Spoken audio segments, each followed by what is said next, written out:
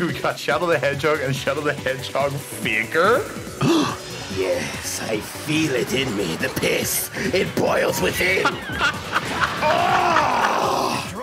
Now you face me at my strongest.